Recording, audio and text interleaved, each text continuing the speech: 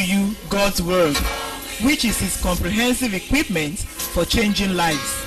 May the Lord impact your heart as you encounter His Word. For further inquiry or counsel, contact Peace House, P.O. Box 971, Gboko, Benue State, Nigeria. Telephone numbers 0703 03636 59 0808 5150 610. Email address lsmedia at livingseed.org or visit our website at www.livingseed.org. Let us sit back and listen as the servant of God brings forth the word of life. for us to progress in this clergy retreat, the Lord will not have us uh, take lightly the critical issues that the Holy Spirit had already set for us, the obstacles for our sharpening, the instruments for our sharpening to become instruments, sharp instruments for great divine exploits. And as he was bringing the word of God, I felt that God is deliberate in wanting to show us mercy. Uh, there are two issues that had become quite paramount that we need to consider. And he put it as uh, obstacles and then instruments. And in my preparation this morning, I had been waiting on God to help us deal with what God must remove in order for us to be sharp.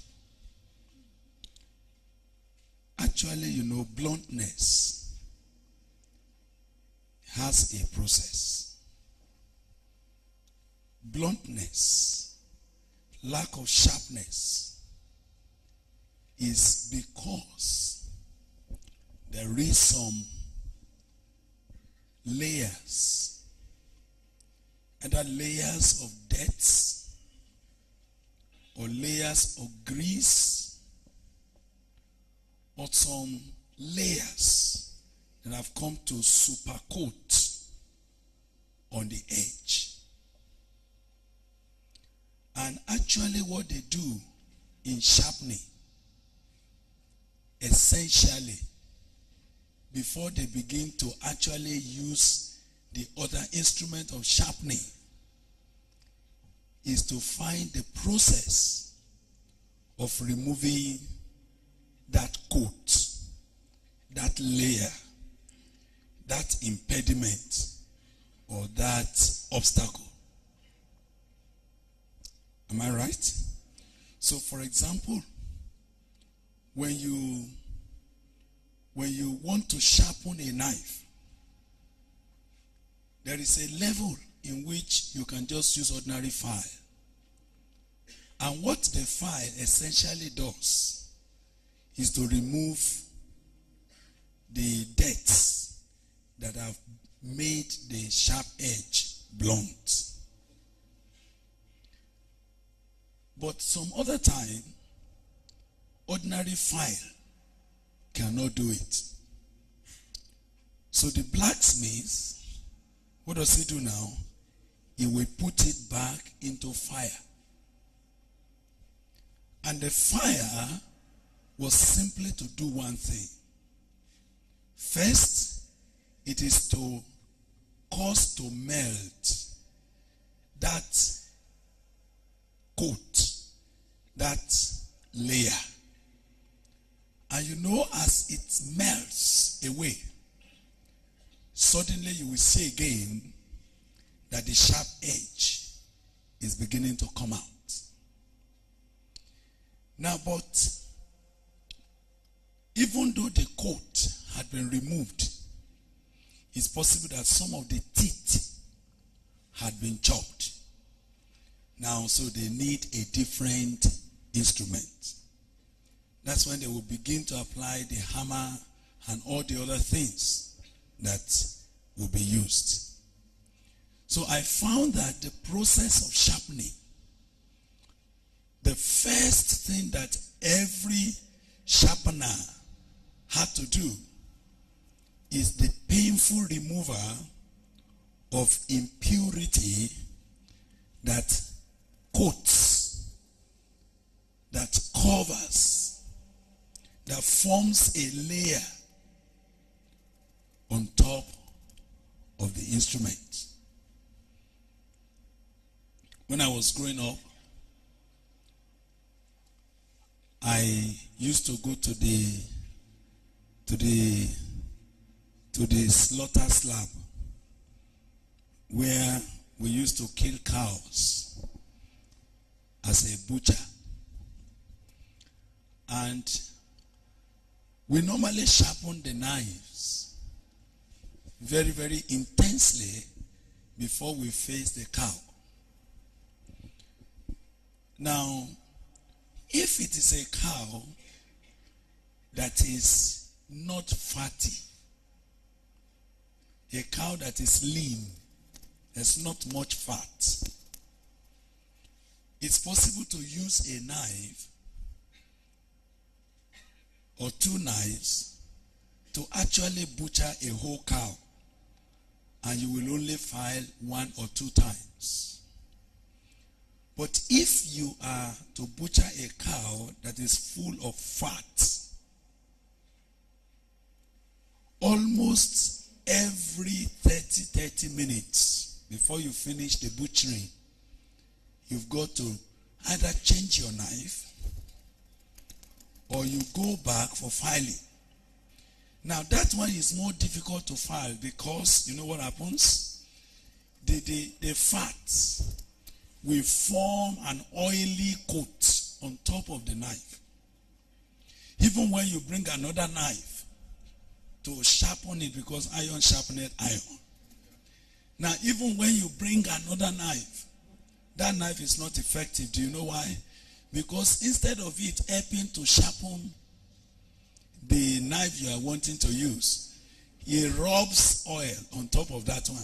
So that one also becomes blunt. Even though we actually love to butcher very, very fat cows, those of us that are butchers, is the best meat. Because any part of it is solid. You can hold it, even for a whole day, it doesn't reduce. Because something is solid in it. But that's very, very difficult for the knife.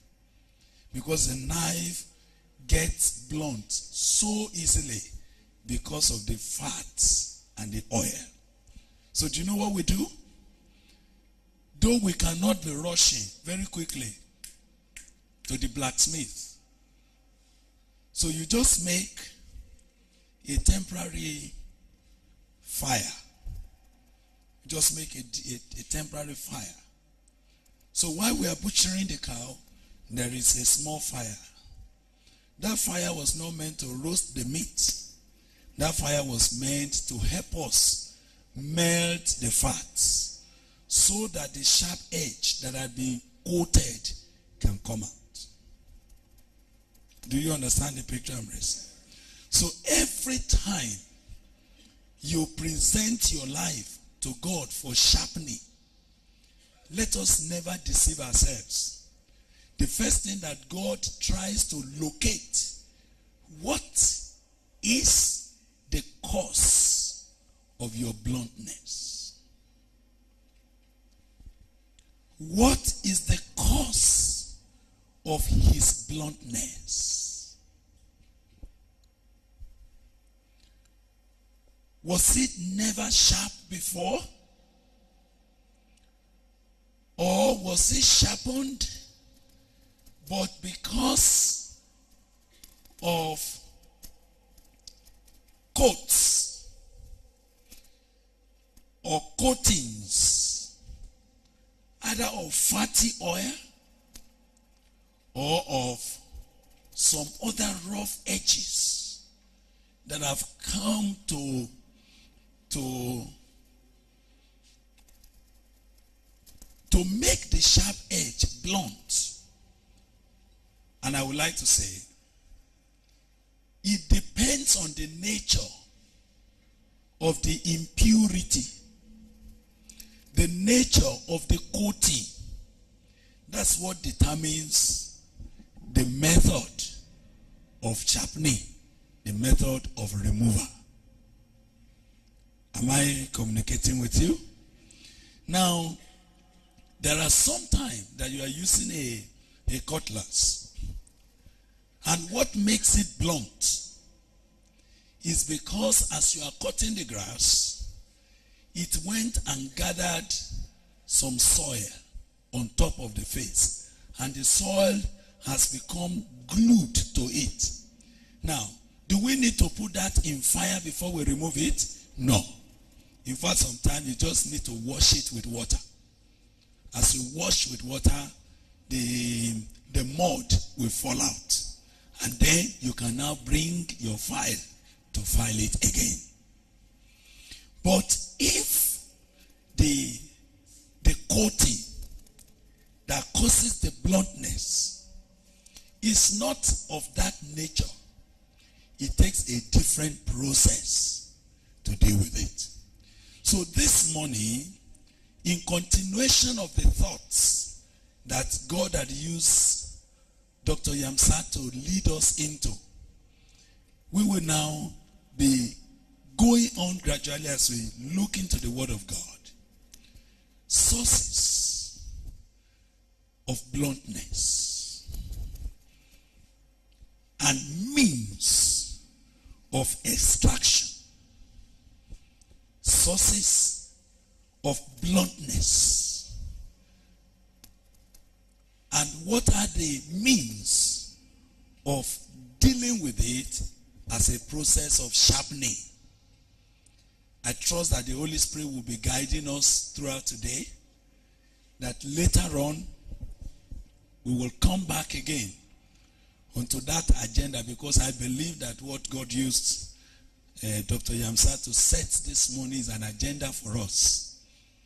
And the Bible studies and the evening messages that God will be bringing to us, I sense that God is going to be taking us along this agenda. That's how God does his work. The Lord will help us. So the first challenge is to discover what are the sources? What is the cause of my bluntness? Sources of bluntness and means of extraction. Hallelujah. I would like us to word of God this morning. And I would like us to along with our theme passage that we've been introducing in Ecclesiastes chapter 10 and verse 10, we will now go quickly and look at the book of Isaiah. We'll deal with the book of Isaiah in several chapters, but we will go progressively as we see the Lord helping us. Hallelujah. In Isaiah 48, Isaiah chapter 48. Isaiah 48. We would like to take verse 9, verse 10, and verse 11. Isaiah 48, 9, 10, 11. Then we will go to Isaiah 49 and we will read from verse 2 verse 3 and verse 4. Then we will go to Isaiah 50. Isaiah 50. And we will study a little from verse 4, verse 5, verse 6. When we have read those scriptures, we will then move into the New Testament and see the complement of these passages as it applies to our lives as New Testament believers. How does God deal with sources of our bluntness? What are his means of extraction? Uh, Isaiah 48. I read from verse 9. For my name's sake, I will defer my anger. And for my praise, I will restrain it from you so that I do not cut you off. Behold, I have refined you, but not as silver. I have tested you in the furnace of affliction. For my own sake, and for my own sake I will do it. For how shall my name be profaned? And I will not give my glory to another. Go quickly to chapter 49. 49.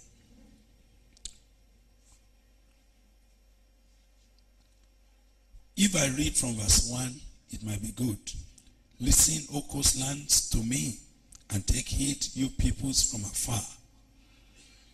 The Lord has called me from the womb, from the matrix of my mother. He has made mention of my name. He has made my mouth like a sharp sword. In the shadow of his hand, he has hidden me. And he had made me a polished shaft. In his quiver, he has hidden me. And he said to me, You are my servant, O Israel, in whom I will be glorified. Hallelujah. Hallelujah. Now, in chapter 50, in chapter 50, I want you to quickly look at verse 4 and I get it down to verse 7. The Lord God had given me the tongue of the learned that I should know how to speak a word in season to him who is weary.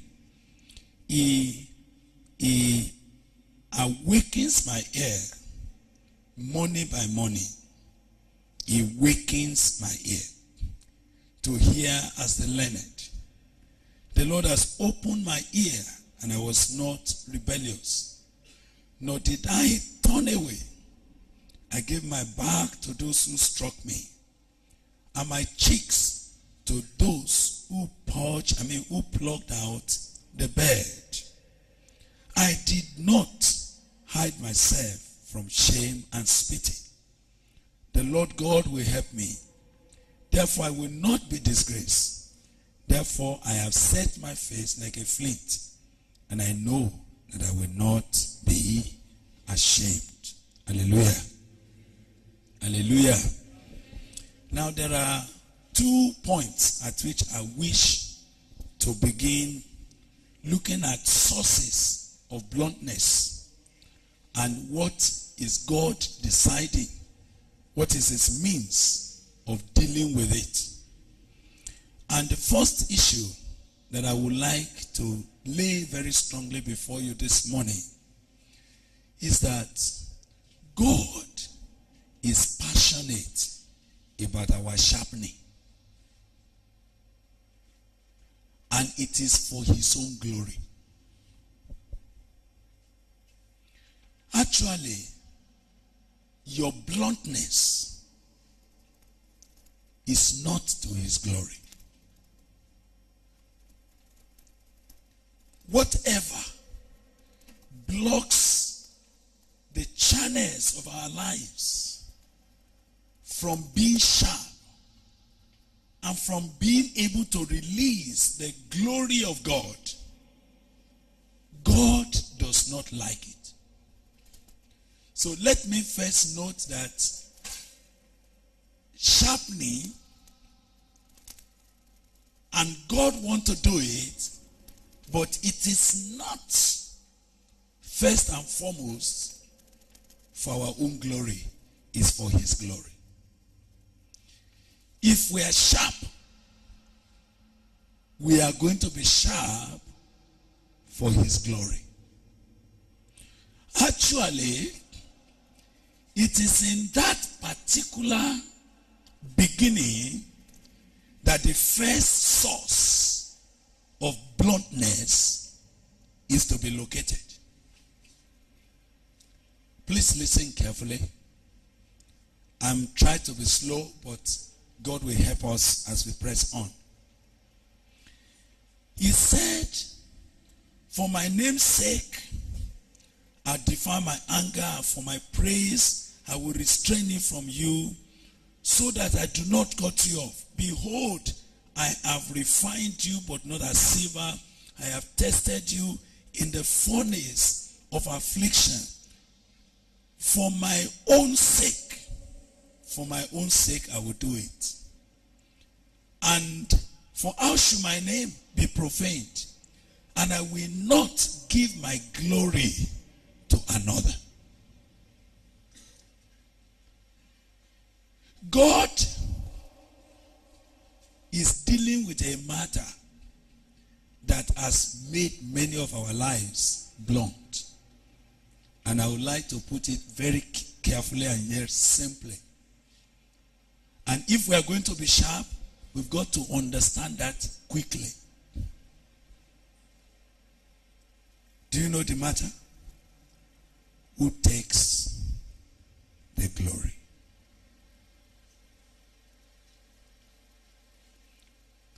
The first issue that makes many of our lives blunt and we could not see a very sharp cutting edge anymore in our lives and ministry is because of the issue of who takes the glory. The issue of to whom does the glory go? To whom does the glory get to if our lives were sharp for exploits? And for some of us, God began to want to make your life sharp so that great things will happen effortlessly. But as we did not handle the issue of the glory, the desire for self glory, the desire to make a name for ourselves, the desire to be prominent, the desire not only to be prominent, but to be preeminent. Brought our weapons at loggerhead with the rock of ages. Permit me to share with you very strongly this morning that one of the critical source why many of our lives and ministries cannot be sharp is that we have quietly tampered with the glory.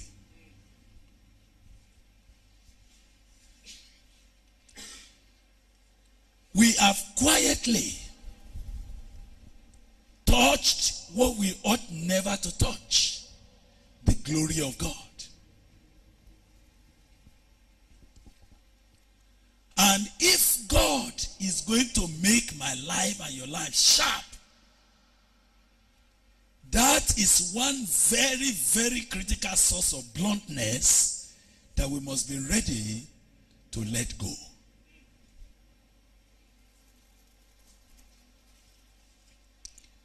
That is something that the Holy Spirit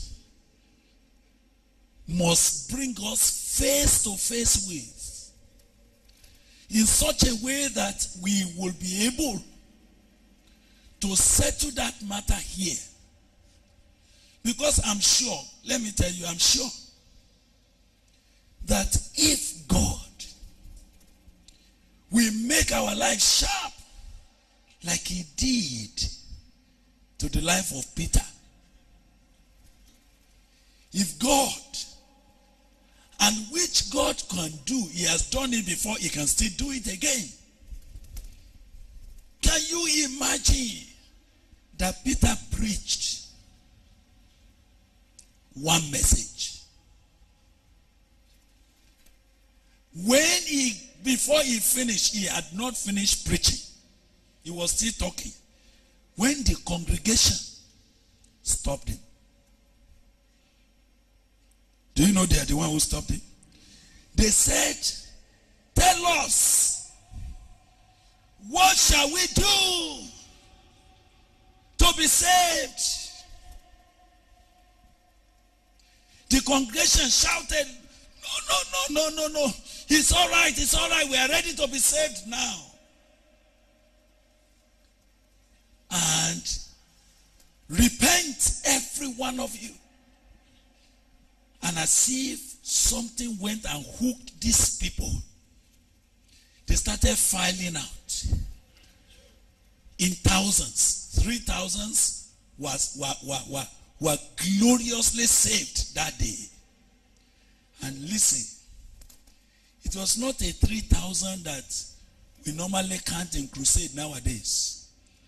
These were 3,000 that were hooked.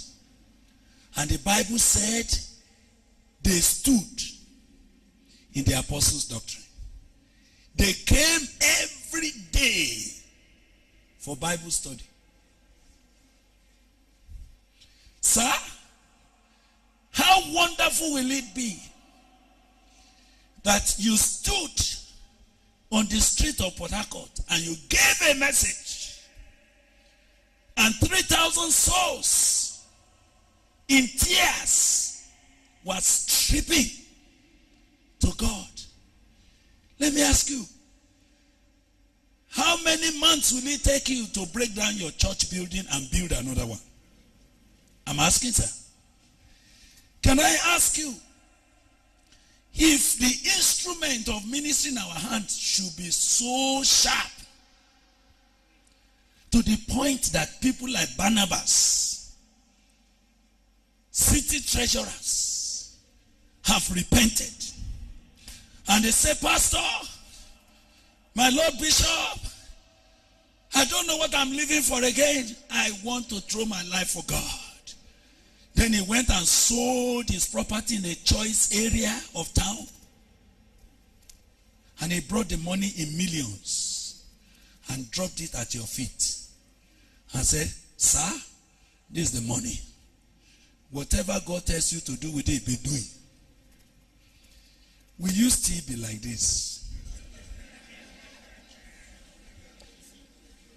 Will you still be will you still be reachable?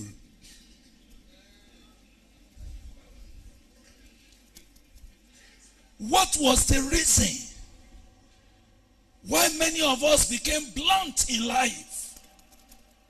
The first source of bluntness is what I'm discovering in that passage. I will sharpen you, but for my glory. What first of all made our lives blunt is not because God has lost his power. It is not because the same scripture we are reading is different from what they read. It's not because they preached more differently than we are preaching. There was something that God cannot tamper with. And that's why I say, let this man not have the sharpness.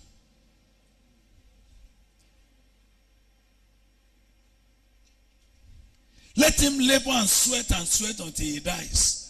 I will not let him touch my glory because I can see that he is greedy for glory.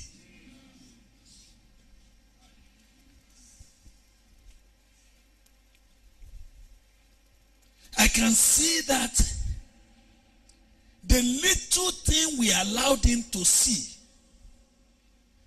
he has already grabbed it. He is talking about himself. He is emphasizing himself, his achievement, his church, his denomination, his this one, his that one. And heaven say, hey, wait a bit. Wait a little more. If this man should have the kind of thing. Now, I'm just imagining how Peter. You need to read that scripture in Acts chapter 2 and see the kind of sharpness I'm talking about.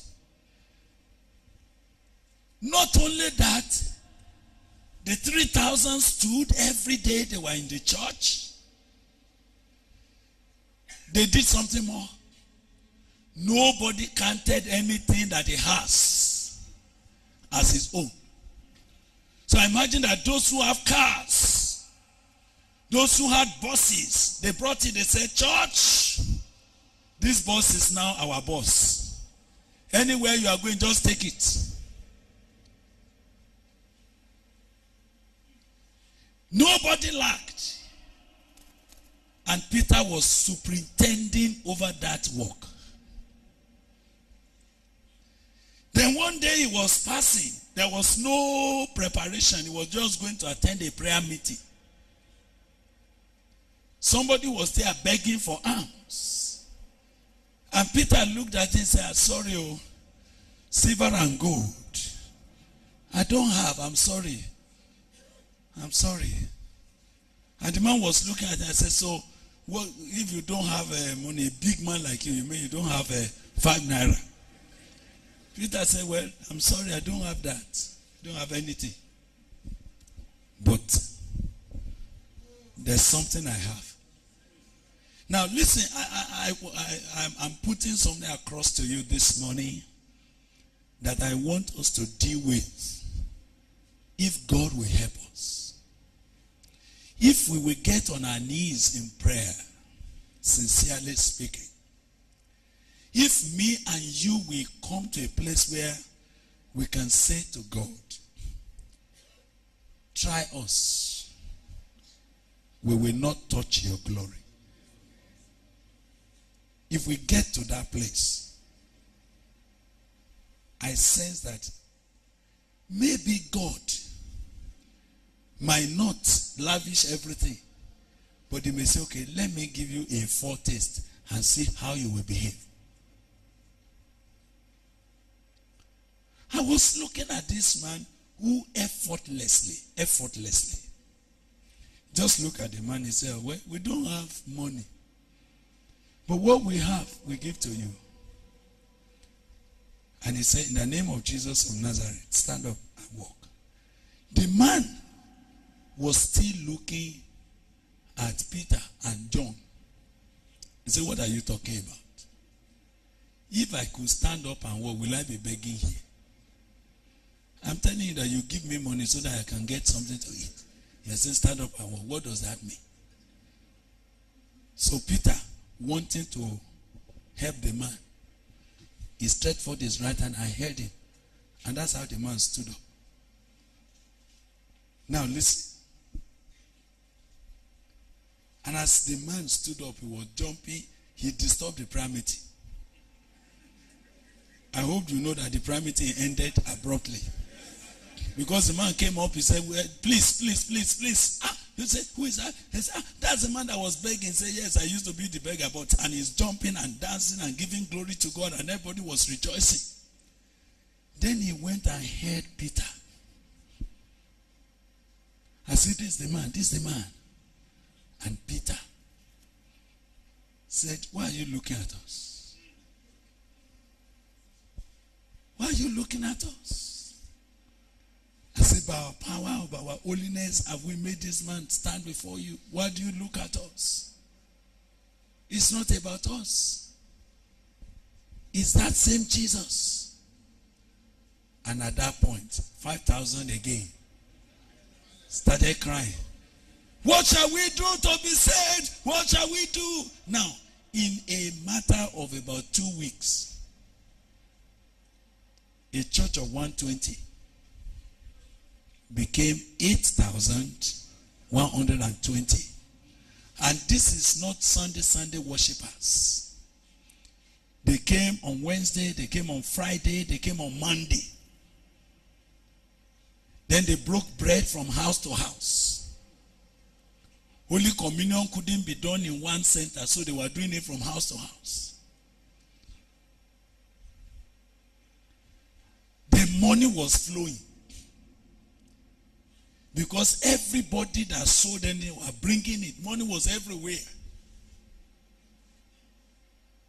There was no need for launching for a project. Money was there.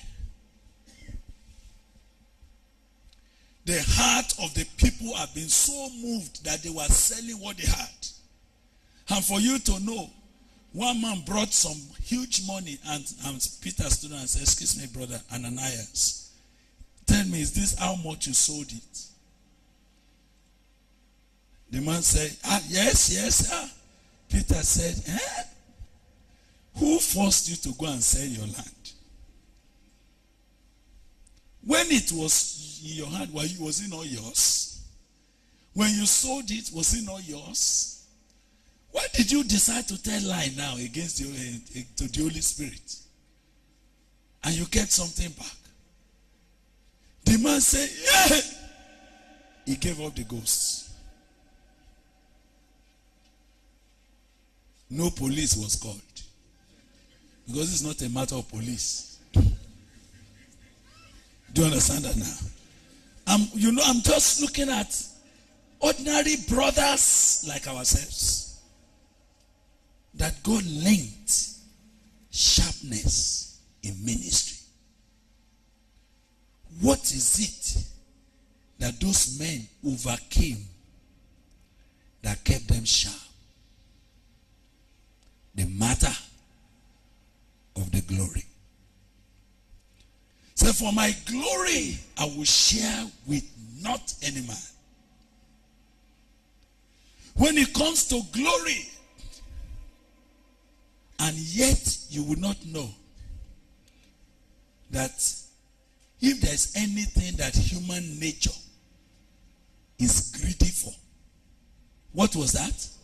Is glory. If there's anything that makes us self-defensive, if there's anything that makes us to want to make a name, if there's anything that makes us to continue to struggle for hierarchies and promotion,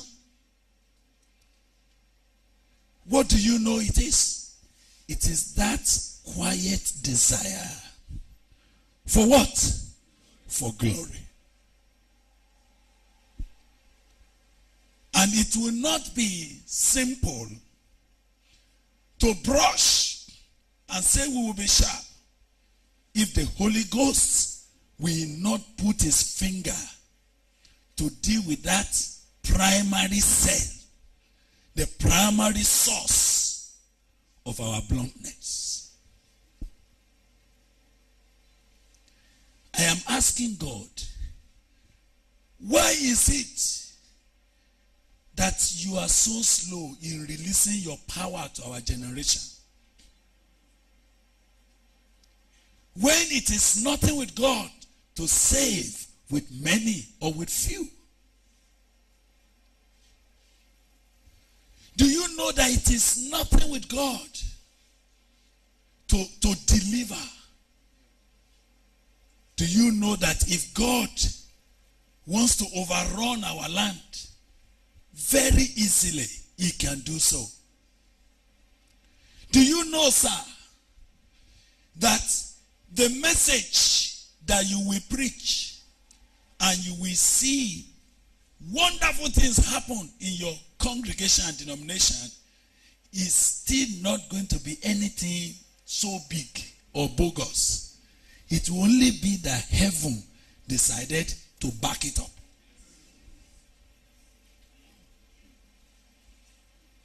But there's a matter that God is settling here.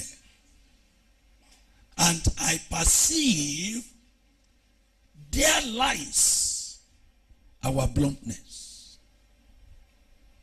There lies the sluggishness with which our ministry is moving. You may not want us to attack that issue. You may want us to talk about methods. You may want us to talk about uh, more education. All of that is good. But it's like living leprosy and chasing ringworm. I don't know how many years ringworm could be on your head. It cannot do you anything. Ringworm doesn't kill anybody. The only thing ringworm will do is that it will chop some of your hair. That's all. It will be scratching you, and as you are scratching it, the thing will be happy. That's all. But if you have a little spot of leprosy, every blessed month, the thing is progressing. And it will chop all your hands, all your leg, everything until you are finished. How could somebody have bright patches of leprosy and neglect it and begin to spend time traveling everywhere? When he meets a doctor, I said, Doctor, uh, this is not my problem. I know they say it's leprosy, but I don't have problem with that. It is this ringworm that is uh, chopping, you know, scratching me here. Please help me. Sometimes we focus on what is not important.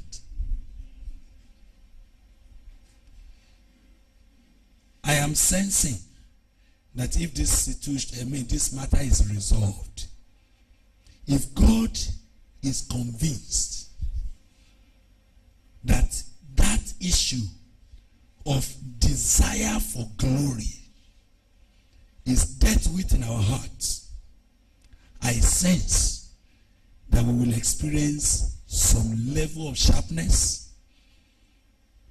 We will see something because I can I'm imagining how some of you presbyters, some of you archdeacons standing up just to give a message.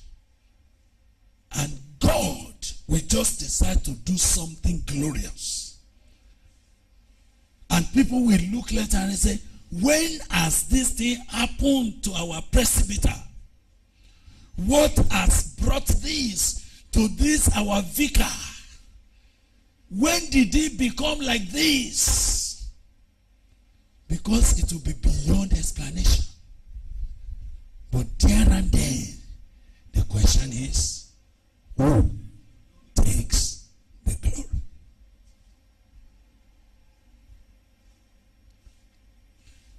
Now, so, we'll take a little illustration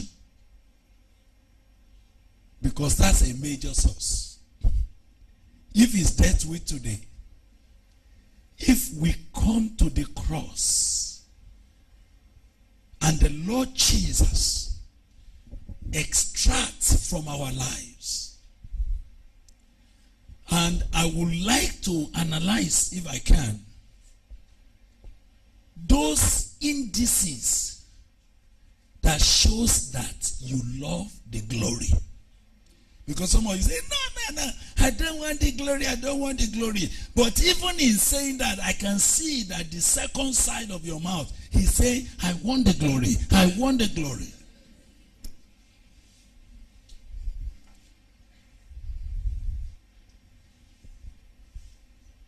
Imagine that the disciples, they were with Jesus and they were talking among themselves. And you know the question among them? Who is the greatest?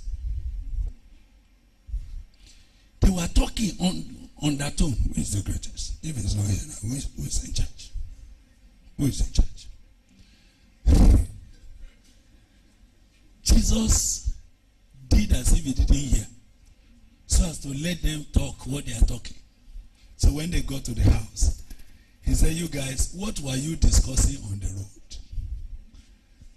What were you saying? Were you talking about who is the greatest?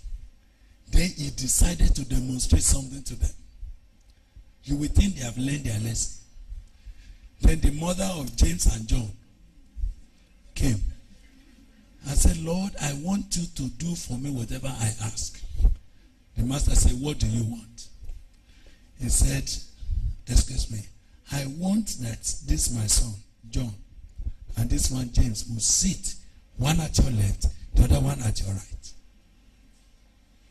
Now, let me ask you did you think it's only John and James that are looking for glory?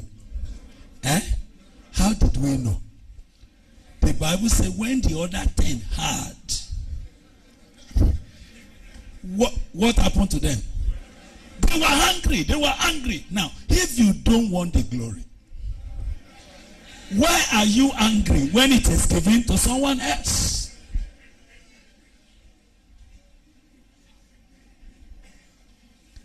If you are not interested in the glory, why does it bother you? Who takes it?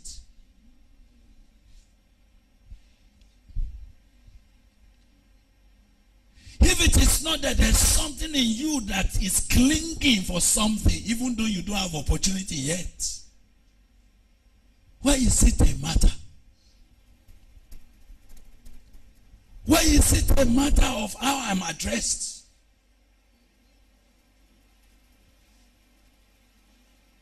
And heaven is looking and saying, mm, give this man a sharp utterance that tears the heart of men, that wake the dead. Hey, he will go with the glory. Make him blunt. Let him work so hard with little or nothing so that he gets nothing to boast.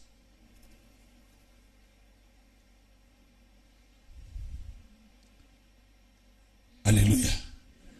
So the first issue that we must pray about, if not that we are going for breakfast, when Dr. Yamsat finished, I just thought we should just fall down before God.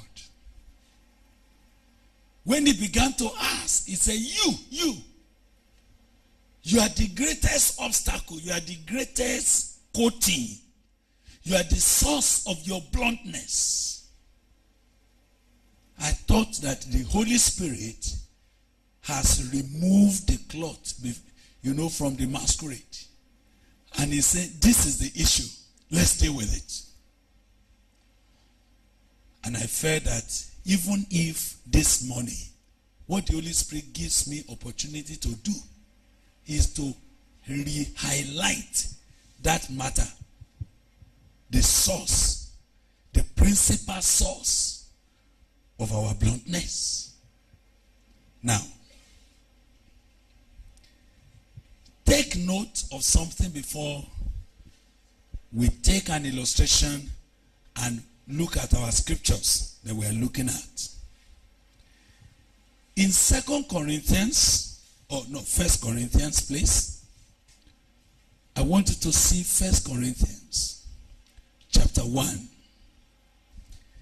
Now, in verse 26 down to verse 29. For you see your calling, brethren, that not many wise according to the flesh, not many mighty, not many noble are called.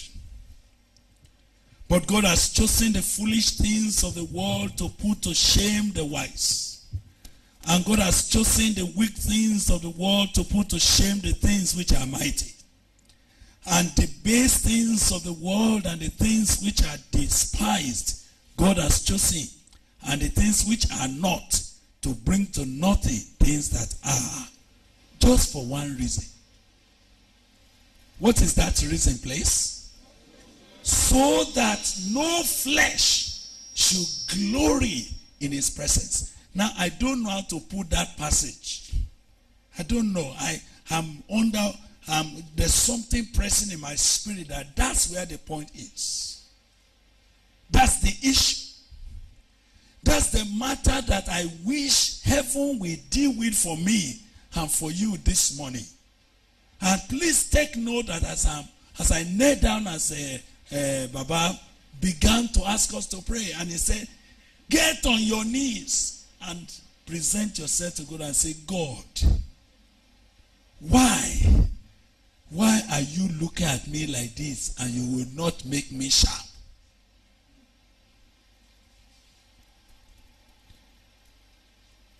Why are you slow in releasing your power? As I was getting on my knees and say, Lord, that question was confronting me. The hand of the Lord is not short, I cannot say.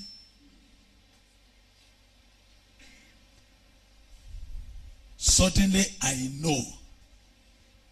I just know very deeply in my heart that there is no problem with God's power. I just sense that what God must put into the furnace to melt out of our lives, once it is taken out of the way, once the obstacle is taken out of the way, there is nothing that God cannot do with a life that has been broken from the desire for glory. Now, look at Corinthians very neatly, very quickly. And this is an issue I don't know how to put, but I'll just put it to you because I know that God has helped several of us to, to understand biblical things, so I will not spend too much time on that. He says, You see your calling. Brethren, that not many wise according to the flesh. Can I remind some of you that you were sharper in ministry when you did not acquire this present wisdom that you have.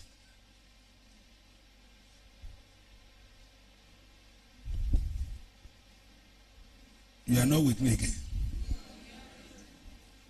Do you know when you were helpless?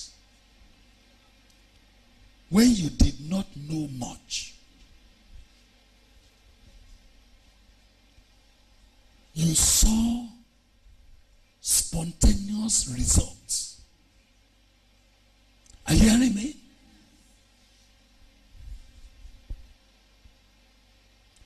But as soon as you began to see results, and people cannot identify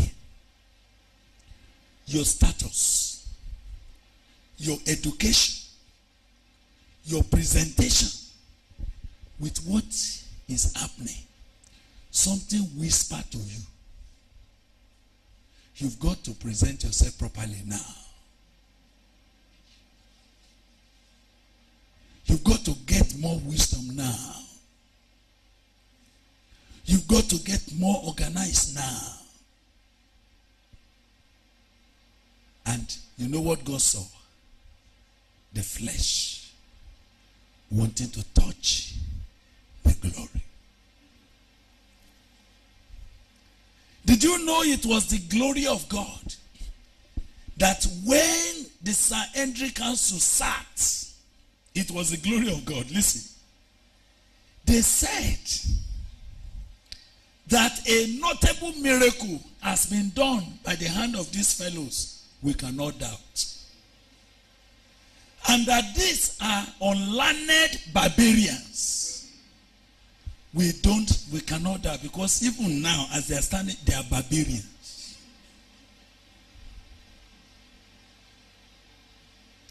So, where is the secret?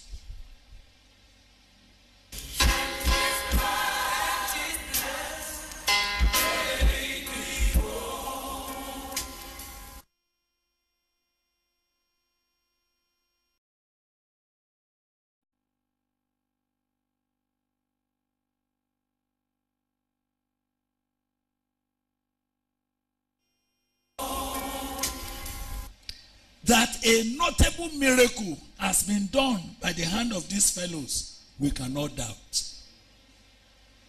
And that these are unlearned barbarians.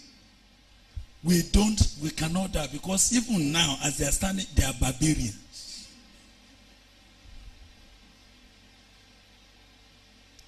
So, where is the secret? Are you getting me now? And they could find nowhere else. They said it could only be that they are being with Jesus. It could only be that this didn't come from them, it came from God. That was what, hallelujah, kept them sharp. You see, brethren, not many wise according to this world, to the flesh were called. Not many mighty, not many noble are called. I am happy with the Bible because he didn't say not any. If he had used the word not any, it will mean that there will have been no space for any noble to be involved in the work of God. But that's not true. You only say not many. It means there will be some. But for some, for those ones to be able to be used of God, something has happened to them. They had emptied themselves of what they could have been boasting about. And they have become an ordinary people that God can freely use. But you don't get many of such. He said, Have you not noticed that God has chosen the foolish things of the world to put to shame the wise? God has chosen the weak things of the world to put to shame the things which are mighty. And the base things of the world and the things which are despised, God has chosen. And the things which are not, to bring to nothing things that are, in order that. Did you see that in verse 29? Did you see verse 29? Eh? In order that no flesh, brother, listen. Do you know that the reason why me and you are appearing blunt is that God is not convinced that our flesh will not do what? Will not glory in his presence. And we need to discuss it at this level so that we don't stop what God wants to do. Sometimes it's painful that God will leave you as bishop. And when he wants to do something serious, he go and use somebody that didn't go to school. And when God is walking through that person and people are running there and say, ah, you say, well, what did he know? It's not the question of what he knows. It's a question of who is walking through that life. That's the matter. So, how can we deal with this source of bluntness? Have I painted enough a picture for this morning? Have you seen the matter? Can I ask a very simple question? Can you identify with the matter? Can you identify with it? Can you sincerely pray about it? Can you sincerely say, Oh God, who actually takes the glory?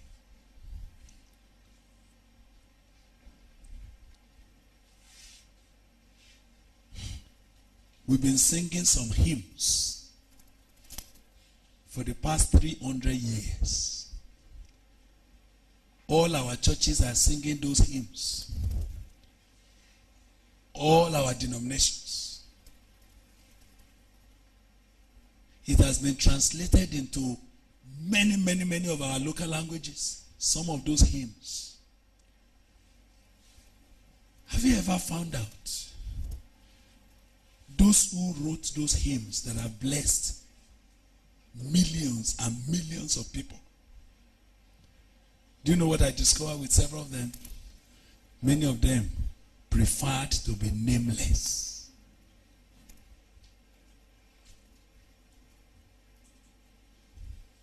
If God were to give you,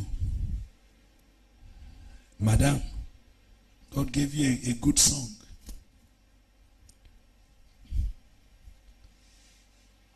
Will you teach the choir? Or what will you first do to tell your husband? Let's launch this album.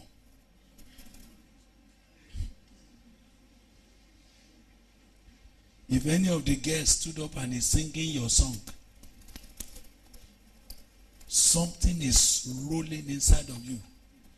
She has, she's singing my song. That's my song. So God, God looked and said, ah. What if we made this woman's song to become the anthem for the body of Christ? What would she have become? She will have become a teen God, isn't it? So God said, block her. Block her channel. Stop it. No flesh must glory in my presence. Do you remember the children of Israel under Gideon? Do you remember them? Do you remember the 32,000 that Brother Gideon gathered to go and fight for God? Do you remember? Do you remember the question that was the matter and they had to discuss it before they can go? Tom, look at Judges. I think, is it Judges 7? Are you there? Judges 7. And uh, Jerubbaal, that is called Gideon, and all the people who were with him rose early and encamped be, beside the well of Harod. So that the camp of the Midianite was on the north side of, the, of them by the hill of Moreh in the valley. Verse 2. The Lord said to Gideon, please look at this thing now. The people who are with you are what? Are too many for me to give the Midianites into their hands. Now, let's understand that scripture quickly. Let's understand it. Wherever you have read the word of God, in fact, from the from chapter two of of um, of that judges, whenever they went to battle, there is always a recurrent phrase: "The Lord delivered into the hand of Othniel. Eh? And the Lord delivered the king of Mesopotamia into the hand of Ehud. So I discovered that wherever you read about victory, are we together? What happened? It was God that did what? That delivered. So can you imagine what we are talking about? What happens is that when God is ready to work, he delivers this man, no matter how powerful he is. He captures him and delivers him to the hand of this man. So people will be thinking that it is Dr. Ango that captured. Mm-mm. Who did? It was God that delivered to his hand. Do you know that every time there's any sincere spiritual ministry, it's not about you. It's God who is delivering things into our hand. Are you getting me? Now. So when Gideon gathered people, God said, Hey, these people, there are too many for me to deliver the Midianites into their hands. You are not with me yet. Are you getting me? Do you know that when David went and faced Goliath, the discussion is not that I will kill you. What did he say? He said, The Lord will deliver you into our hands. You know that's the secret of any sincere ministry? Ministry is not giri giri giri giri giri. It's if God will deliver something, Baba, in your diocese. It's not about giri giri giri. It's if God will deliver the land to your hand. If God has not delivered them to your hand, you will do like this, you will sweat. All your big, big, big English and theology will not work. It won't. It's not that they are not good, they are all right. But God is not ready to deliver the land to your hand. So if God will take this man now and hand him over to you, he said, I've given him over. That's all. As big as he is, he will be in your hand. Are you hearing me, sir? That's what God does. Now, thank you, sir. He now says, So when David said, The Lord will deliver you to our hand, and we will give your body to the birds of the air. That was the secret of battle. It's not a matter of I am taller, I am shorter, you are experienced. I'm not, that's not it. It's God. So now I'm hearing God said, these people that you have brought, there are too many for me to deliver the Midianites into their hands. Why? Why? Please check it. Check it. All of you check it. He said, lest Israel claim what? They claim glory for itself against me, saying, My own hand has saved me. That's the issue. Who takes the glory? If God helps me and you this morning, and we settle this issue, not in passing, sincerely, cooking is big. Am I right, sir? But it's not a, a bigness. It's about God delivering it into your hand. And say, my servant, I have handed this to you. That's all. That's all.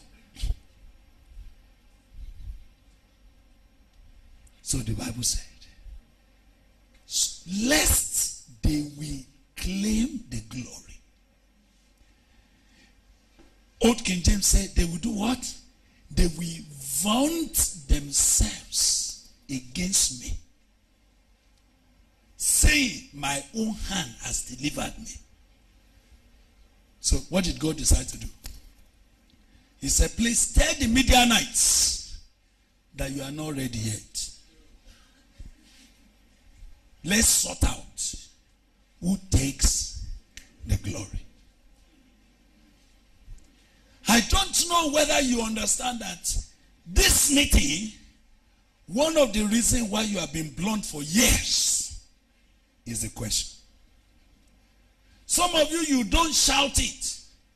What was making me afraid in this passage is that they have not yet done it. Did you notice that God, they have not done it, but God saw their future? God saw their heart. God knew what they would do. God said, hey, they will do that. Blunt, block them, block them. So he brought them down. The first announcement disqualified how many? 22,000. Now, even though, listen, this is where I want you to go now.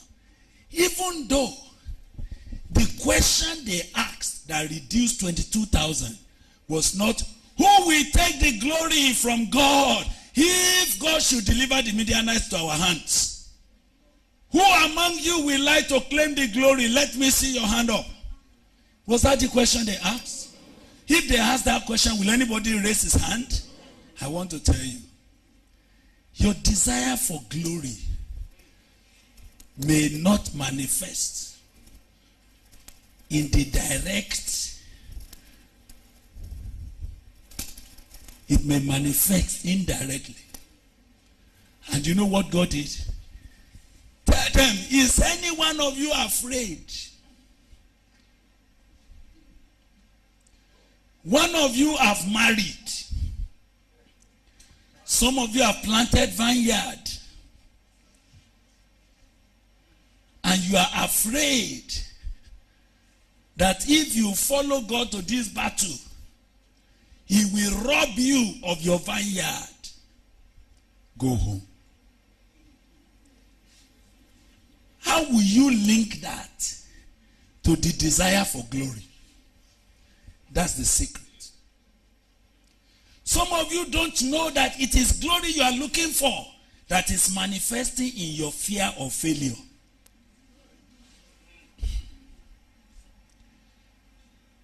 Some of you, you hate failure like anything. Say, mm, no, I don't want anybody to rubbish me. Who are you not to be rubbished? Isn't it a desire for glory? The fear that you are expressing, is it not a quiet desire for glory? You are a perfectionist. Who is a perfectionist? A perfectionist is someone who, who glories that nobody can discover his mistake.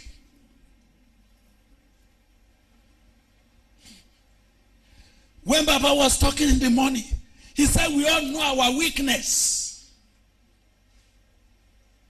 But we get offended when anybody says, Sir, I see your weakness. Where are you offended? It's a desire for glory. Because you think that if people should discover an area of your life that is not so correct, they will use that to pull you down and you will not be on top again. So you do everything to hide your weakness. You do everything to write letters of self-defense. And God said, this man, he loves the glory. Blunt Please block his sharp because if we give him success, nobody will sleep.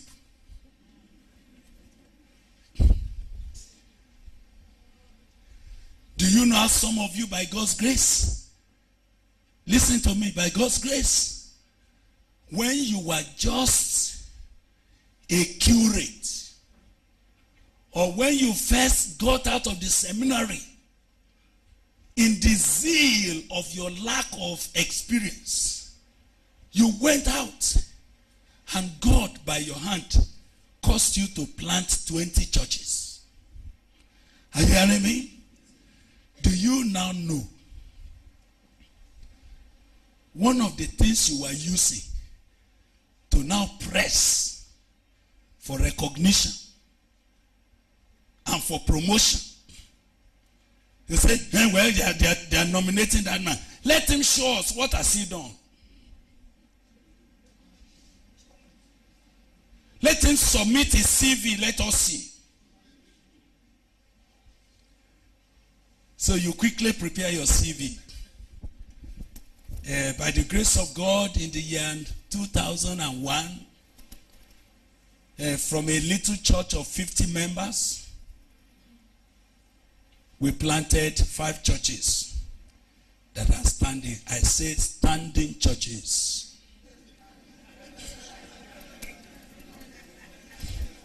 And by the grace of God, I set up an evangelical team. I mobilize them.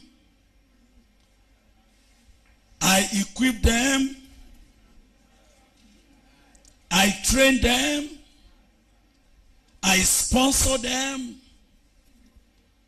And by the grace of God, we planted another five standing churches. So actually in three years, between 2001 2004, we have planted 10 vibrant churches. So what is becoming the archdeaconry? Actually, 70% of the churches that they are counting under that archdeaconry were my churches. But where I'm not seeking anybody's promotion, I only want you to know that some people that you are making venerable, are, there's nothing venerable about them. Praise the Lord. You know what God says immediately? He said, look at that man. Block his instrument.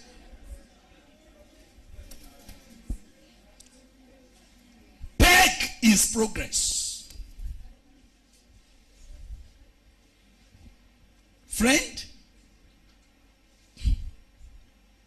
what is the matter that is making God to look at you and you are growing old and you are not seeing serious result in your life and ministry?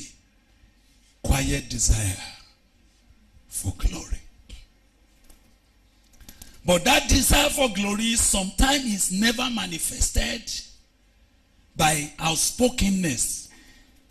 It's manifested by fear. I will lose. I will lose. I will lose my name. I will lose my entitlement. I will lose my position. I will do this. I will, no, no. So God said, those of you that are afraid, afraid of whatever, go back.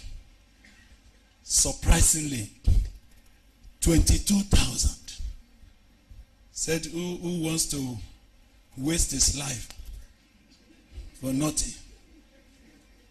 I'm going. They went back. God saw their desire for glory, but manifesting in their fear of failure, their fear of loss. I can see some of you very sitting tight, self-protective, because you are afraid that something will be lost. You need that thing for your glory. Some of you, I'm afraid to inform you, God has already blocked some of you. There are some of you that are pastor here, but you are doing secret ministry somewhere. You are reserving something. You are not serving the denomination full-heartedly.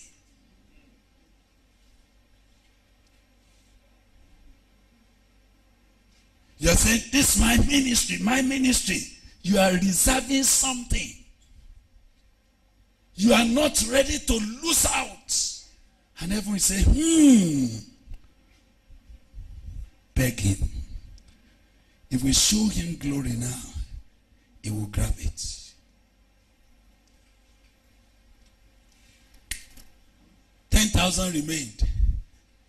I know that brother Gideon must have been confused. He said, Hey, God, 22,000 are going. When he presented the other 10, God said, even this 10, they are still too much. What is still the question? Who takes the glory? Some of you, your desire for glory is not manifesting in terms of fear. Some of you are brave. Brave. Strong willed. And as far as you are concerned, let's put our head. Let's see where the matter will be. Quiet boasting. And the Bible looked. They're too much. Now bring them down, please. I will test them for you. He brought them down to the brook. And God was looking who will take the glory. Can I tell you how he tested them out now? He brought, you won't know that God is testing who takes the glory. You won't know. I'm, I'm asking God, I say, Lord, you know human heart so much. I don't know myself. I don't know what God sees. And heaven is saying, don't yet confirm Brother Gbile too much.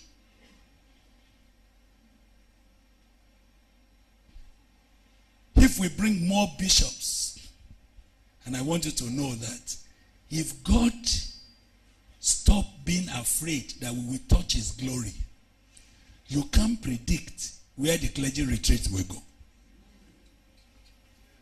Are you understanding?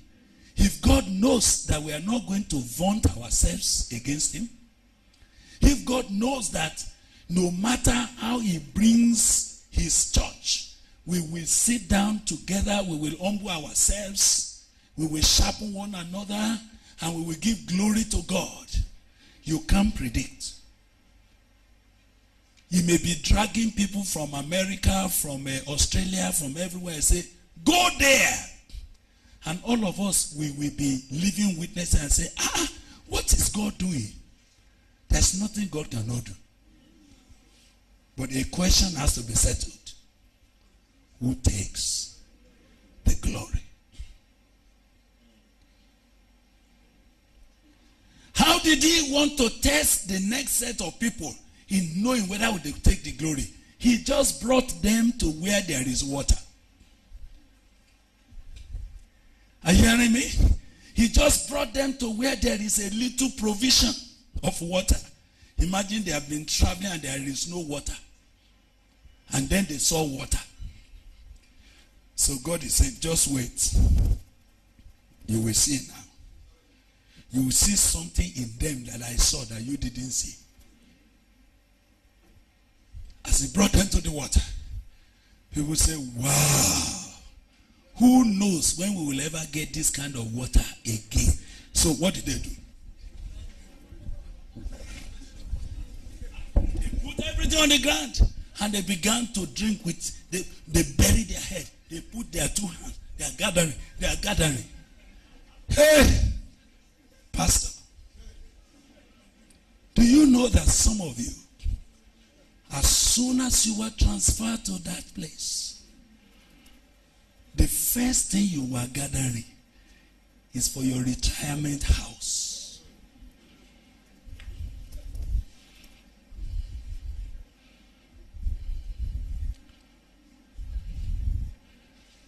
You, you quickly whisper to yourself, who knows when they will transfer me from this place? Opportunity comes but once. Man of God. Opportunity come only but once.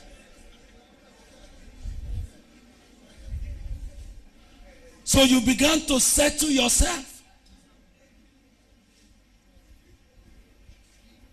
All the important personalities in the in the in the in the in the parish.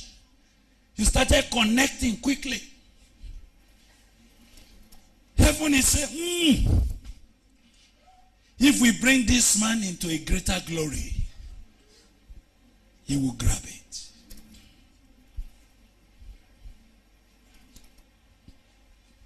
By the time God sorted this man out, 300. Only 300. 300 that saw water and are not conquered by it. 300 that saw provision and they disdained it. 300 that saw glory, glorious provision, and they just laughed like a dog. And they said, Let's go, let's go, let's go. It's not time to drink anything now. It's not time to make ourselves comfortable now. This is not the time to build any house now. This is not the time to change our car now. Oh, no, no, no. Let's move, let's move, let's move, let's move, let's move. Only 300. Out of 32,000. Is that a good percentage? Actually, if it was 10%, it would have been 3,200. So 300 was something like less than 1%. Less than 1% will not touch the glory. That's why usable vessels are scarce. That's why authentic ministries are scarce. That's why God has not been able to deliver, deliver, deliver great things into our hands. That's why your weapons is appearing blunt. Would you like us to pray about that this morning? There is going to be a small space to be alone with God. This alone with God is not is to ask authentic question. God, try me. Show me who I am.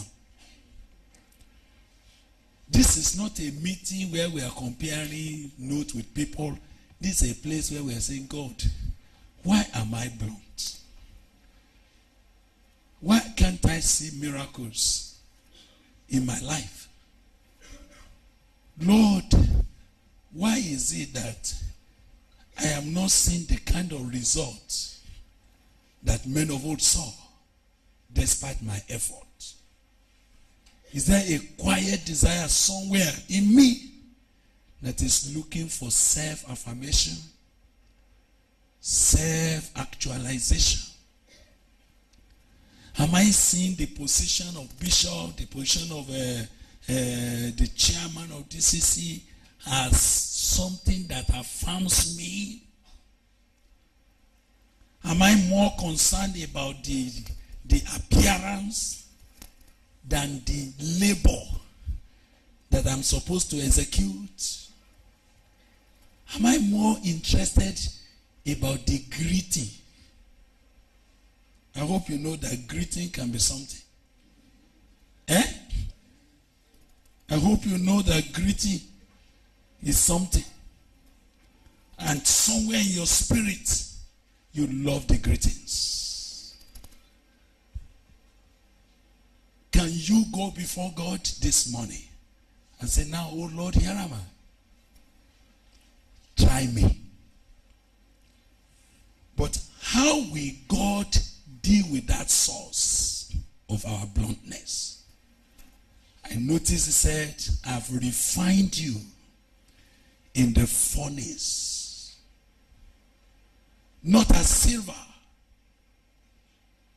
I've refined you in the furnace of affliction. I need to cut off your desire for glory. That's why I've, I've not been able to use you. I am looking for people that are ordinary so that I can shame those who are mighty. I'm looking for those who are weak so that I can bring to nothing those who think they are strong. I'm looking for those who appear foolish so that I can discredit those who think they are wise in this world. Can I bring you to the place where men will regard you as foolish and you'll be happy?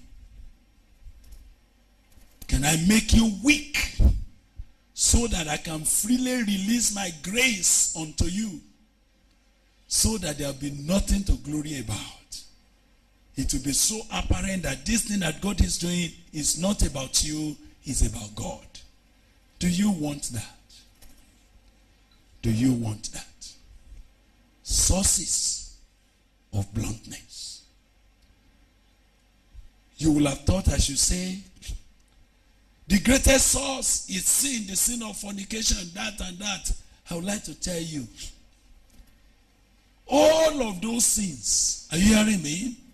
They emanated from the desire for self actualization, for glory. That's what brings it all about. Do you know that if you are a fornicator, the reason why you kept doing so is that you are so concerned about your glory that you will never confess it to anybody. If not that sin makes a man to look for glory, sin will have been the easiest thing to deal with. Because if you sin and you could come up and say, You call me Lord Bishop, but I'm really in trouble. Don't honor me as you are honoring me again. I'm not as honorable. Sin has perforated my life. Do you know that God will be happy to identify with your life, to change your situation, to bring you out of that, and to use you? Man of God. Mm-mm. Mm-mm. How come? So you do everything both face, self defense to hide it because you want glory. Anywhere people cover sin, do you not know why we cover sin? Excuse me, why do we cover sin? We don't want to be shamed. We want the glory.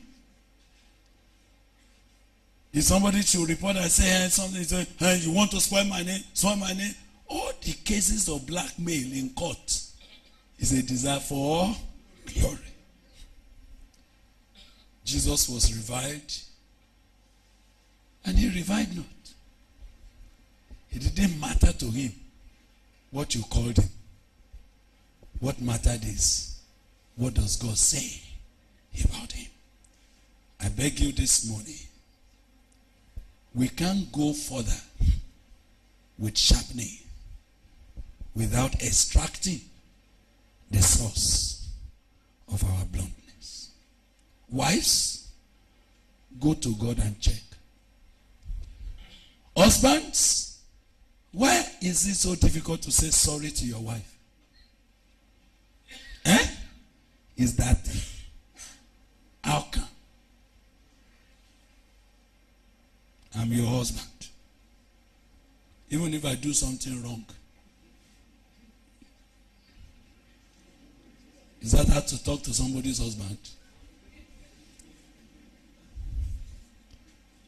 So the, your family is boiling in the bedroom, but you are well dressed to minister. Heaven said, Look at that man. Begging. Don't let him see anything. He will put more strength, but let's show him no success. May the Lord help us. May the Holy Spirit reveal to you deliberately. Where is that thing? Can we get to pray this morning and say, Father, deal with this matter for me? Let's pray together.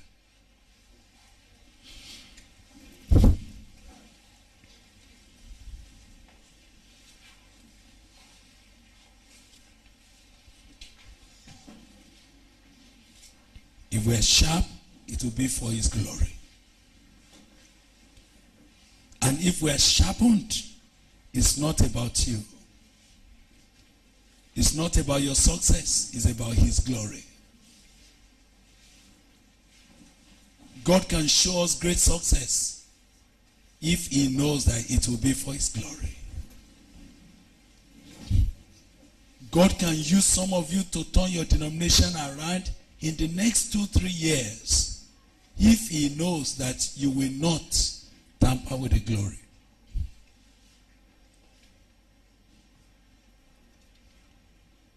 The questions I want you to deal with they are questions that only the Holy Ghost can help you to deal with. Please pray. Please ask God. Help my life this morning.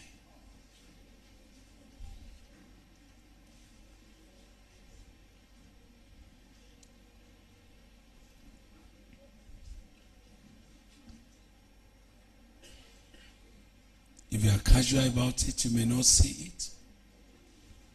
But if you go on your knees deliberately and say, Now, Lord, between me and you,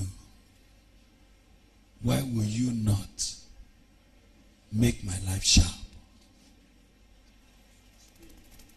Why will you, oh God, be watching me to be struggling? Lord, here am I. Extract that desire from me and sharpen me for your use.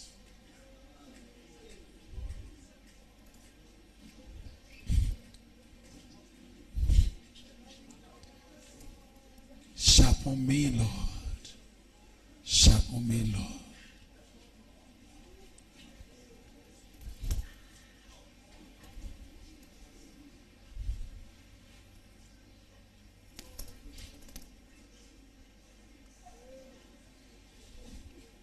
Sharpen me, O God.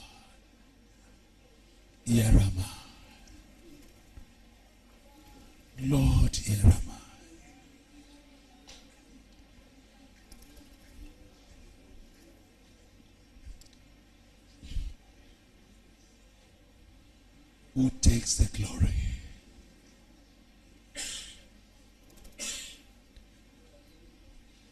Who takes the glory?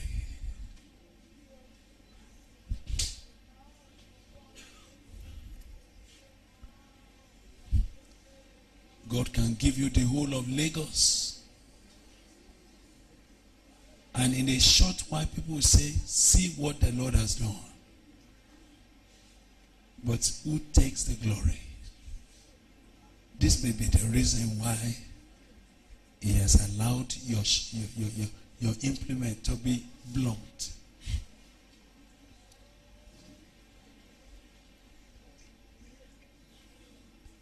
Only God can handle what I'm asking Him to handle. Lord, thine is the glory. Thine is the power, the kingdom, and the glory forever and ever and ever. Not for two years, not for three years. Some of us will give God glory at the beginning, but after a while, we take over. Lord, deal with me. Deal with me. As it pleases you this morning, Lord, please deal with me. Deal with my life.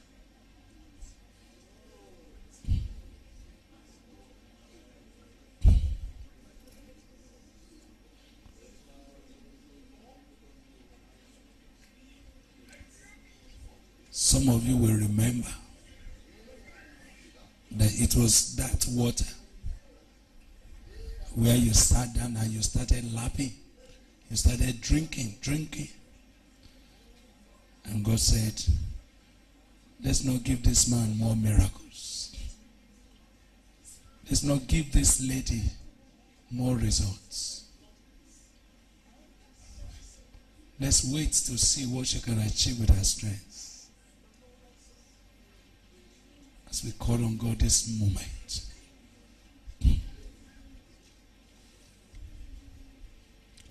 Lord, please have mercy on us.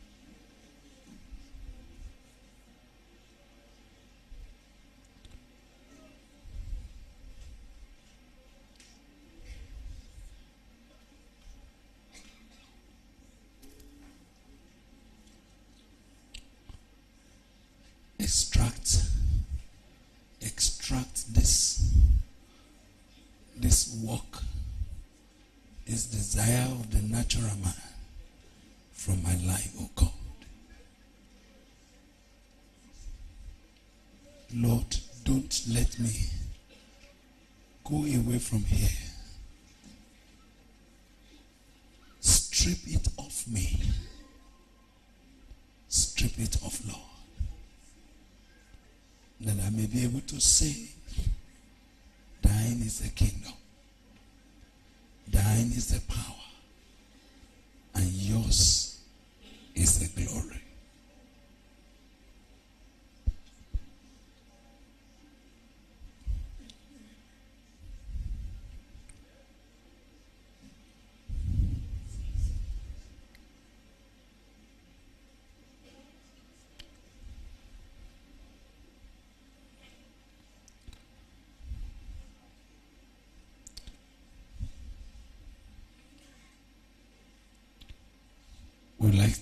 to together.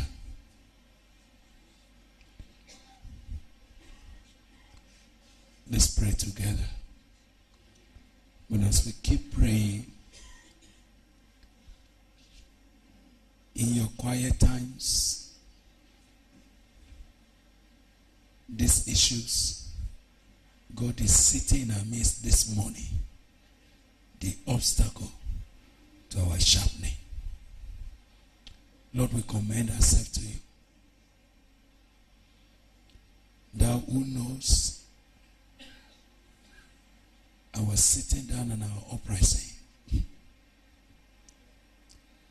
Not only that, do you know our past and our present, you also know even the future that we don't even see. We want you, Lord, to extract this source of bluntness. Is the main issue that has made you to hold on from making our lives so sharp as to bring about great results. Father, this afternoon or this morning, as we go on in our time together in our studies, in our praying, don't hide anything from us. All the revivers that you gave stopped when men touched the glory. Moses was so effective, was so effective, was an effective man.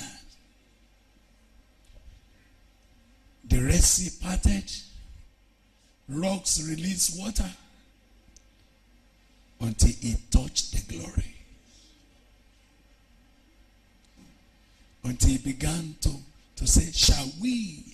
And God said, You did not glorify me in the midst of those people. So you will not get there anymore. Nobody touches your glory and goes further.